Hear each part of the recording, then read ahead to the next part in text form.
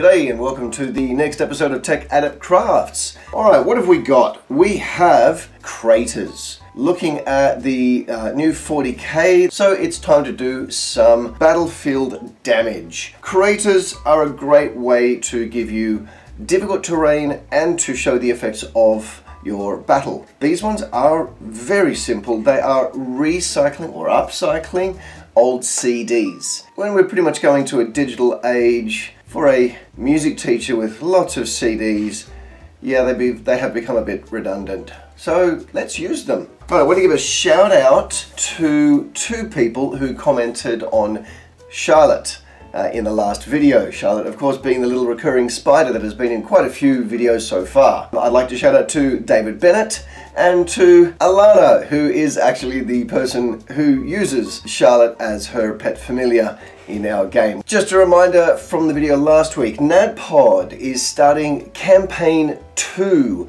uh, this weekend. I think the first episode, episode 0, will actually come out US time Saturday. Scratch that. It came out today. Sunday morning.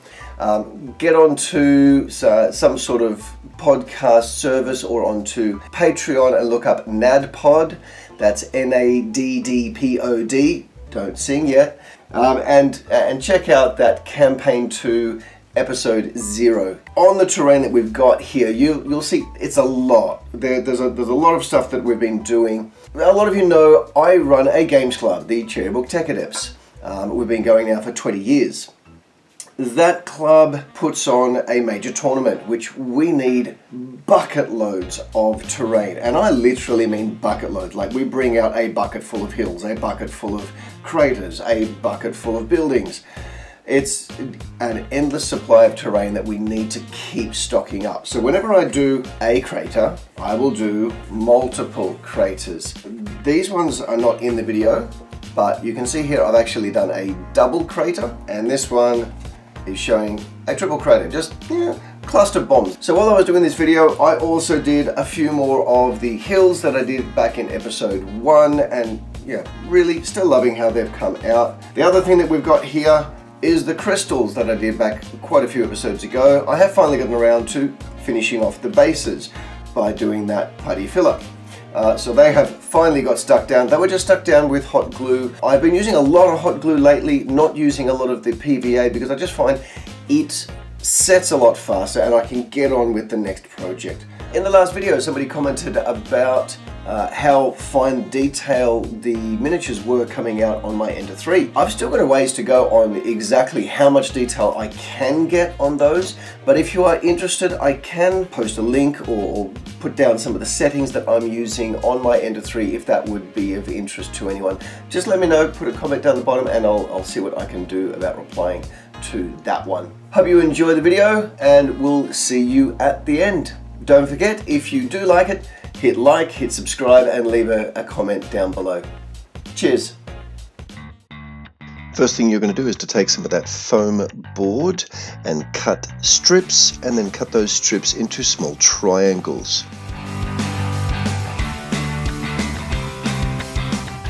Next job, take your hot glue gun and stick those triangles down with the long edge down and then the second longest edge towards the outside of the rim, so your short edge is pointing inwards.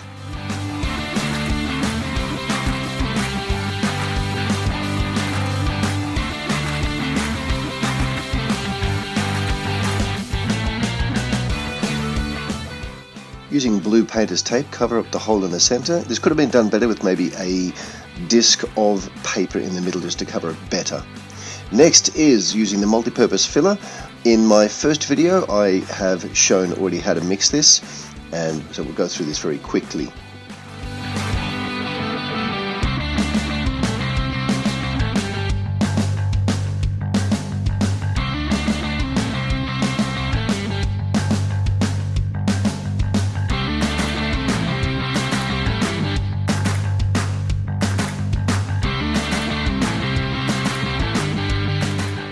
Paste that mixture into the CD, trying to get it all in between the cracks of the foam board triangles and around that outside to create a nice crater lip. You don't want it too thick in the center because that's where you want the models to sit. Too much, they won't sit properly. I found a better technique, which was actually cupping my fingers like a triangle and rubbing that around. When it's dry, rub off any excess sand or stuff that's stuck to the bottom. That will make it a lot easier now than when you're trying to paint it. First painting layer, Mod Podge. This fantastic product will make it a little bit less like sandpaper.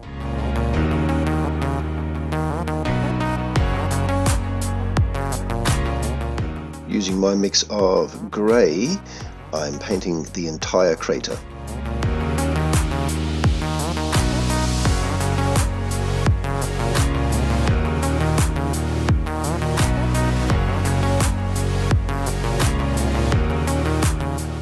Taubmans Endure Matte Interior Walls Paint Star Anise is the first of the contrast colours. We'll follow that up with Taubmans Endure Matte Interior Walls Season Acorn and the Taubmans Endure Timber Beam.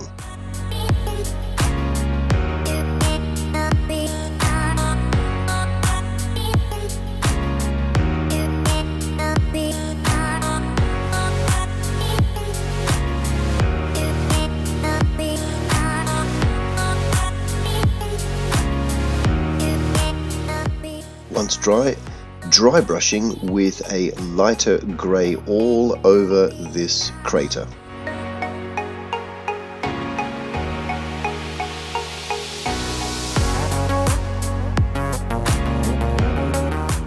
Black Magic Craft mix of black wash all over after that dry brush.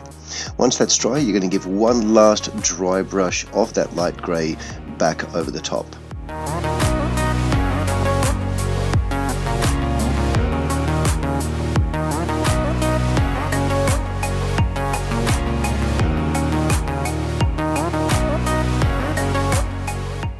There is the finished product. Alright, so I hope you enjoyed the tutorial on how to make your own crater scatter terrain. You can make a huge batch of these. You can make the, um, the sides of it bigger, but this actually works nicely with fitting, uh, say, a dreadnought base inside that crater. It'll still fit. You can just count it as that's difficult terrain. Um, you can have it as soft cover, all good. You want to make it higher? Make it hard cover. Don't forget, hit like, hit subscribe, and leave a comment down below.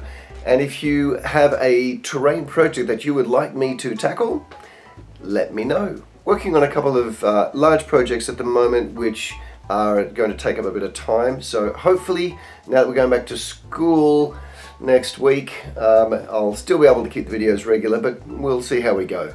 Till next time, keep hobbying.